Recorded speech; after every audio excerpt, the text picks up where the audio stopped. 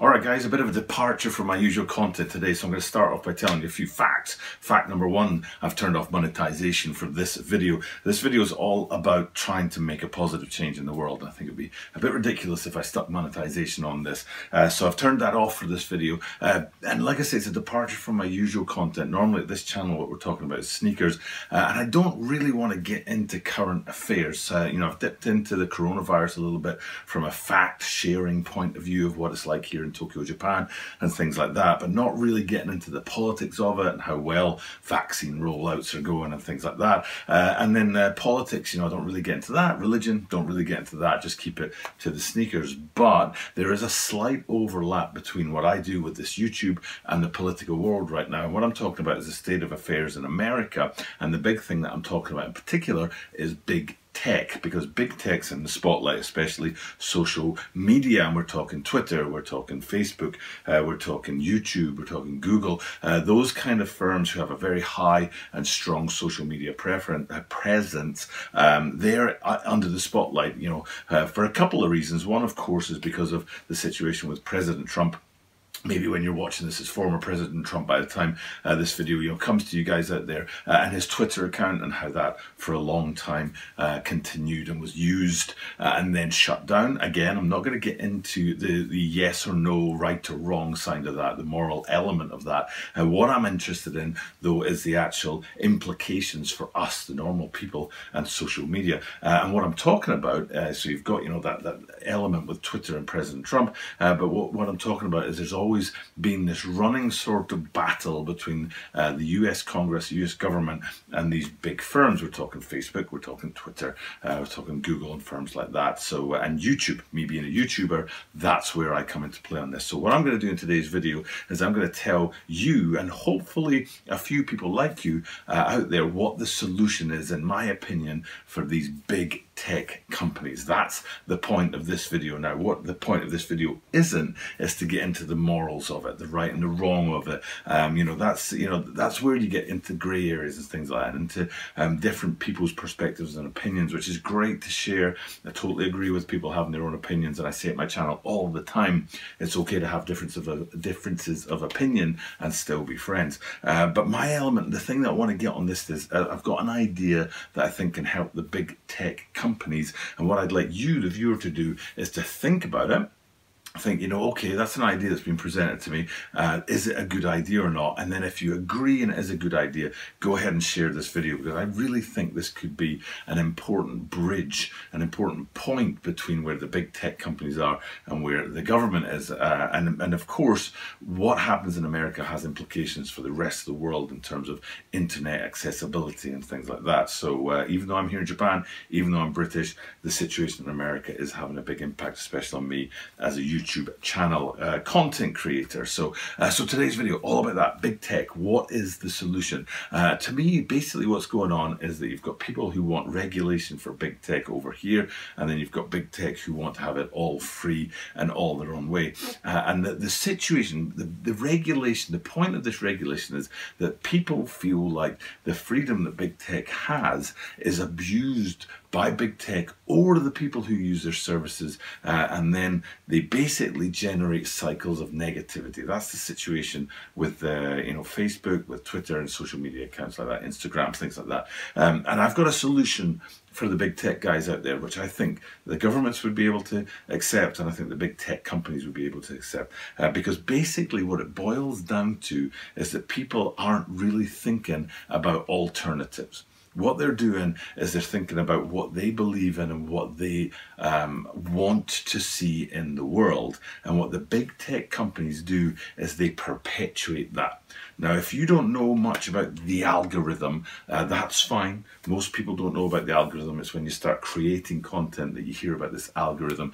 But basically, all the big tech companies uh, have an algorithm, and that's where the problem lies basically generally in society and, and with this situation between the regulators and between the companies themselves. And that's where I think the solution lies as well, which will satisfy both sides of the argument. So the algorithm, in a very simple explanation, the algorithm is a big, huge maths equation. And what it does is it takes account of a bunch of different things. Now, being a YouTuber, I can talk knowledgeably about the YouTube algorithm. And what it does is it takes account of a bunch of stuff. How long do people watch my videos for? How often do people click on the adverts around the side of my videos? Uh, how often do people go from my videos to another video on YouTube? Or how often do people go from my videos off of YouTube? And they can track all of those things. And what they do is they decide whether or not my videos will appear on the side menu or the menu below a video that you're watching.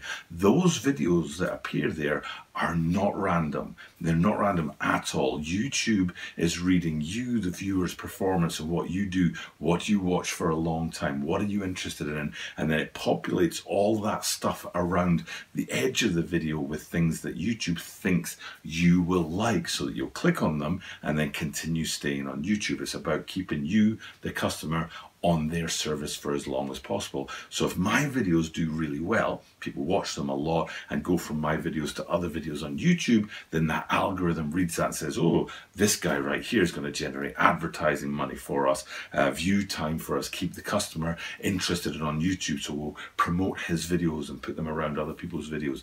Oh, you know what? People just jumped away from left YouTube and went to somewhere else. Well, in the middle of this guy's video, didn't interact with the adverts around the side. Oh, useless. Don't need need him, uh, so don't bring his videos up and around the sort of um, the screen and around the, the, the extra stuff that you, the viewer, can click on. So that that's how the algorithm works. It basically tracks the viewer's performance, and then it tries to generate the content uh, for you, the viewer, to click on and continue staying on YouTube. And that's the same for Facebook, and it's the same for Instagram, and it's the same for Twitter, uh, because what you see is, especially what you'll see is things like on Facebook with their video feed that they have on there. If you watch a certain kind of video, then suddenly that kind of video is appearing an awful lot further down the feed.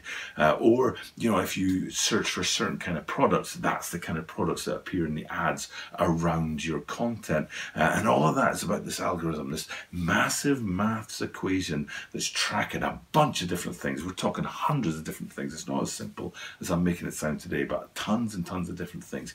Uh, and, and basically that algorithm is the root of this and that's the solution. And what i think needs to happen is that that algorithm needs to 50-50 populate the suggested content around people's viewing time with the things that they're interested in and then the opposite perspective Okay, that's what I think is the basic bottom line of what the big tech companies need to do. And I think that will keep the governments and the regulators satisfied because they're balancing out perspectives and you're not just churning out the same stuff over and over again on people's, for example, on Facebook, on their newsfeed. Because um, right now, that's what happens. If you, um, let's say that you are interested in cars and you watch a video about cars, and then the suggested content is all about cars, cars, cars, cars, cars, and you're interested in, uh, I don't know, five liter, um, you know, huge muscle cars, then that's all the content that you'll get around your video or around your newsfeed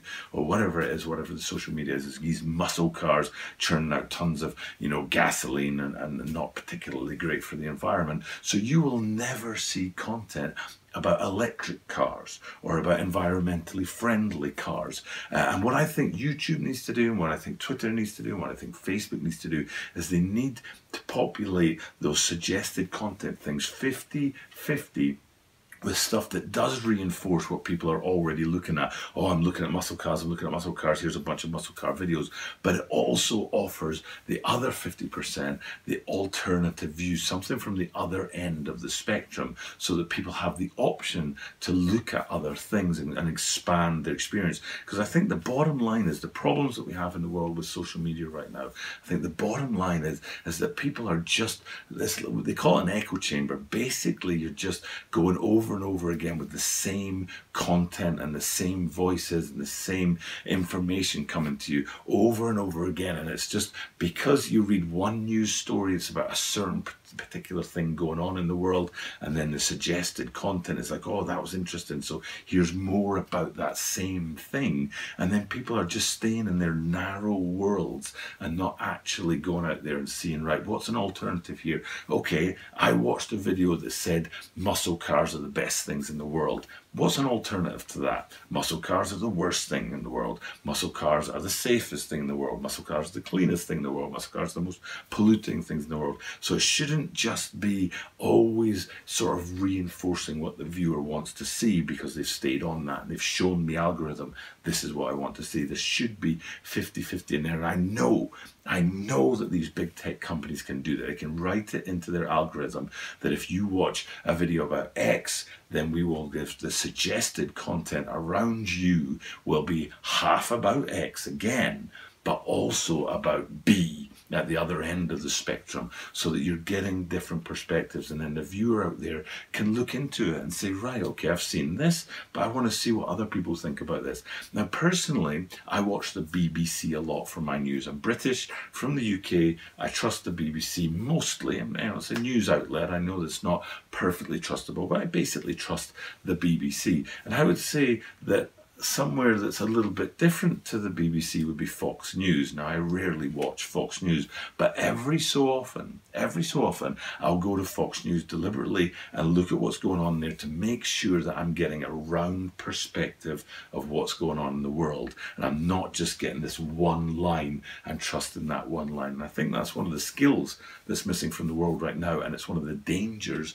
of algorithms and social media is that basically people just get the same content content over and over again, maybe different voices, uh, but it's basically the same sort of stuff that's coming. So if it's liberal news in the States and you're getting it from, say, CNN and Huffington Post, and that's all you get in your news feed, then that's all you see and you have no other way of getting out there and finding more information and different perspectives. But the other side is, is you know, Fox News is Breitbart, I think it's called, and then that's just that's all you see, and you don't have those other perspectives. So I think it's on the tech companies to give a better rounded perspective in that suggested content. Now that'll be difficult for those big tech companies because what will happen is that people will stay on their sites less if you offer 10 videos about muscle cars to somebody who just watched a video about muscle cars, there's a great chance that they're going to click on another video and go for it. But if you offered five videos about muscle cars and five videos about, you know, um, zero emission cars, you're, you're, you know, you're cutting 50% chance out of that person staying on your site. But what you are doing is giving that person a wider perspective of the world. And that's where I think we need to go with these big tech companies with social media. And they can definitely do it. It's not that hard to write that into the algorithm and make sure that people out there are getting a multiple perspectives and able to dip in to uh, different views and look at a problem, look at a situation from many different perspectives and get people's opinions and not just churning out the same stuff. Oh, this is this reinforces what I believe, and and so I believe it more, and then I see more of that. It reinforces it, and and after a while, you're only you know you're a little hamster running around in a little wheel, and all you're just churning around is the same stuff over and over again. You need to get that three-dimensional perspective instead of two dimensions. So for me, that's the next step. You know, if, if, uh, if, you go full regulation of the internet and social media and stuff like that, I don't think that's going to work. All you'll do is you'll force people into underground, you know, ways of dealing you know, with, with stuff and connecting and, and less public ways, and you'll end up uh, marginalizing people into these small little groups. But uh, but right now, what it's doing is too open, uh, and I think what needs to happen, like I say, is the big tech guys need to do a better job of making sure that, yeah, of course, they're after their profits, but also making sure that people can get to see different things and not just that repeated cycle of information. So for me, that's the next step for big tech companies. Now, I don't know if people will agree with that or not, um, but I just, uh, you know, I've said this many, many times over the last couple of years that I think about, especially American politics, I think about senators in America uh, and about how they uh, just see the same repeated cycle. But what if that's all they ever see and they don't have any, you know, other stuff? They're busy people, you know, and it's hard to go out there and find different perspectives. But if the tech giants can just lay that out, here's a, a perspective that reinforces your view, but here's another perspective that challenges your view. And then you, as a viewer, will say, right, I'm going to look at one of those and decide, you know, and get a broader perspective on things. Uh, so that's my, my solution, or at least my little bit of a solution for big tech and for social media going forward. Uh, like I said, I've, I've, not monetized this video. I think it's, uh, it's uh, you know, my little tiny micro effort to make a positive change in the world. And I think it would make a positive change. I think it would make people a bit more aware of multiple perspectives instead of just being narrowly focused in on their own perspective. So, uh, and I think that would be a good thing. So, uh, so that's uh, that's my suggestion. Hopefully, you know, it makes sense. Uh, I don't know if I've explained it clearly enough. Uh, I don't know if people out there are, you know, open to this kind of idea. I don't know if the tech guys out there will appreciate me cutting their profits by 50% by doing this. Uh, but I do think this would be an excellent solution, an excellent way to make a bigger change in the world. And it's not just about churning out the profit and churning out the content, but also thinking about it from that, that multiple perspectives point of view. So hopefully this makes sense hopefully people out there agree and say, you know what, that's a great idea. We should share this idea and push it out there uh, and try and get some momentum behind it. Because right now is the time that people are going to be looking at big tech companies for the next, you know, three to six months. People will be looking at them at really intensely. And of course, that intensity will dissipate over time. So right now is the time to get behind any initiatives that can improve the field without going so far as to just sort of like completely regulate the internet or the opposite, just, you know, it's a free for all. And, you know, so uh, I can see where there needs to be a middle ground, and this is what I think is the middle ground. So if you agree, definitely share this video or share this idea. You know, if you have your own social media sites or whatever, oh, I saw this idea about, you know, changing the algorithm so that people get different perspectives and 50 50, you know, for every piece of content, suggested content that reinforces your idea, here's another piece of content that challenges your idea. That's it. That's it. That's as simple as it is. That's all the big tech needs to do, and I think that'll be that will create a change, a positive change in our world, and give people a bit more empathy for different points of view. So, uh, so yeah, different video today. Uh, nothing about sneakers, just an idea that I've come across, and uh, you know, somebody out there you know, maybe some low level Google employee would see this video or hear about this video and watch and go, you know what, that's an idea and it'll get like 20 views but if one of those views is the view that makes a small change in the world I'll certainly be happy. So thank you guys for you know just listening to me rabble on about my idea about what uh, you know we can do to make the world a slightly better place and that's what this video is all about. So uh, so that's today. Uh, we'll be back to the sneaker content tomorrow as usual every single day dropping videos on YouTube every day seven days a week not not five days a week seven days a week have done for something like the last 800 days without a single day missed and we'll be back with this sneaker content tomorrow. But for now, it's time to sign off. Thank you for checking out the content. But because I do this every single day, that means that you are guaranteed to see me tomorrow.